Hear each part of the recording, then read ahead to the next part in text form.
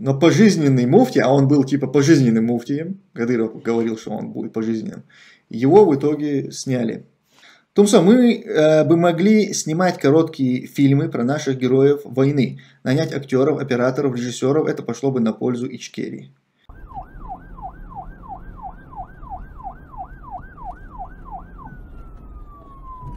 Алейкум ассалам.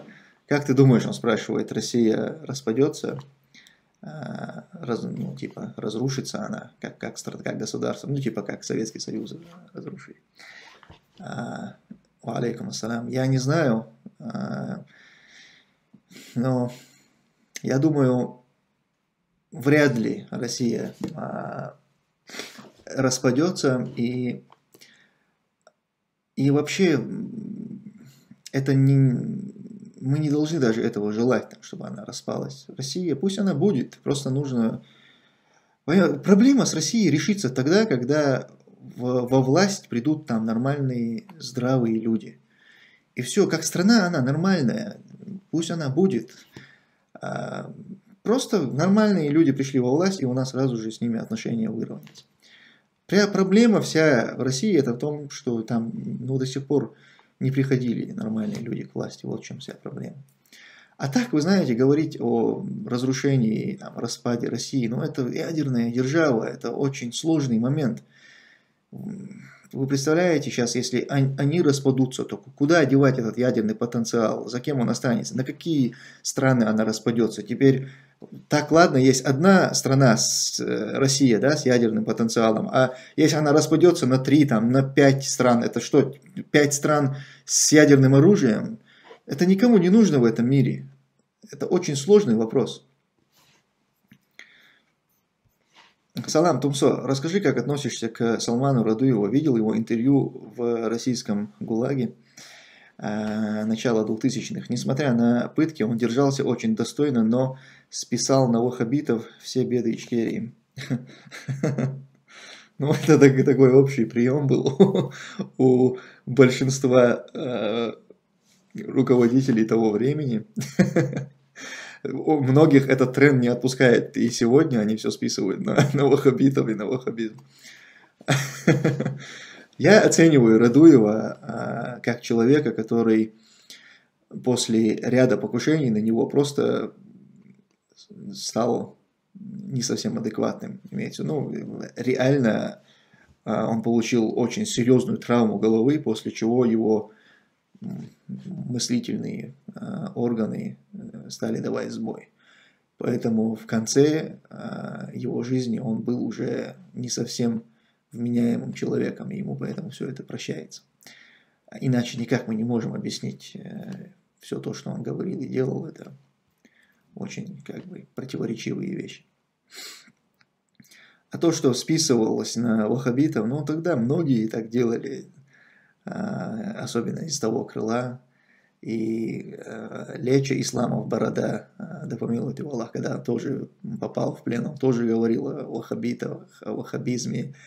А, и это реально было мнением тех людей тогда, действительно. И Масхадов когда-то был на этих убеждениях, и окружение Масхадова когда-то были на этих убеждениях.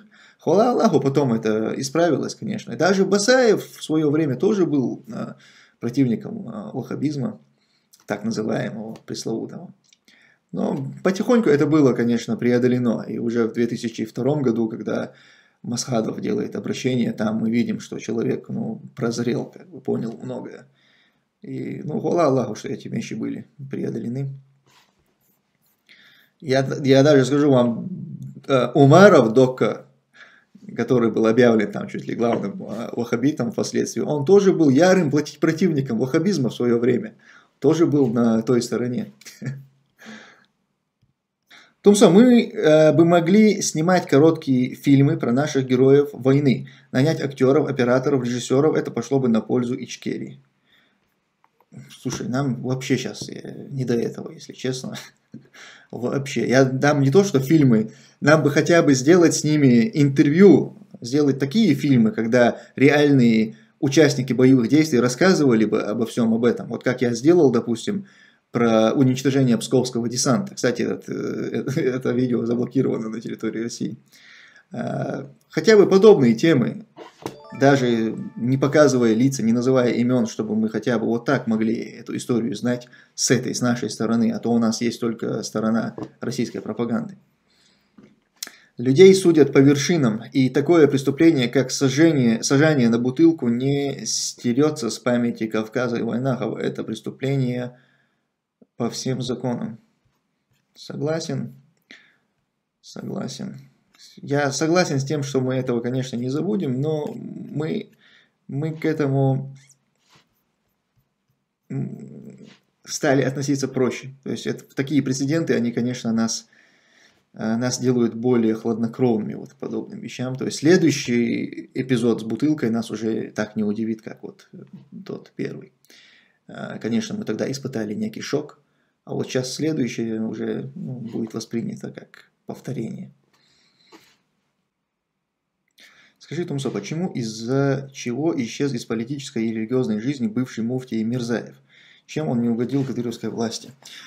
Я не могу знать этого наверняка, но а, по слухам его убрали из-за недостаточно уважительного отношения к, а, к семейству падишаха, скажем так.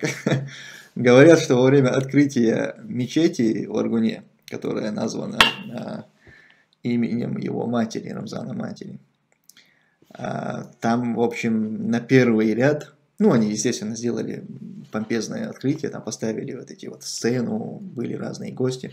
И там где-то на первых э, рядах они, значит, э, определили места для детей Кадырова. Они тогда вообще были молокососами. И, в общем, они сидели там вначале, а он, говорят, приехал и решил их пересадить. Типа сказал, что там высокопоставленные гости, там разные шейхи, типа, приехали, они должны здесь сидеть, а вы пересядьте. И на это, говорит, возразил Даудов, по-моему, сказал, что типа это самые важные, здесь нет никого важнее значит, королевской э, знати.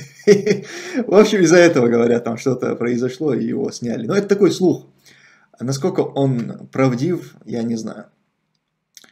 Но пожизненный муфти, а он был типа пожизненным муфтием, Кадыров говорил, что он будет пожизненным, его в итоге сняли с этой должности. Что думаешь насчет того, что Россия допустила использование незаконной и преступной с точки зрения УК РФ кровной мести официальными лицами? Да это уже никого не удивляет. Это, конечно, это абсурд, э, когда глава российского региона поручает руководителю парламента российского региона объявить кровную месть.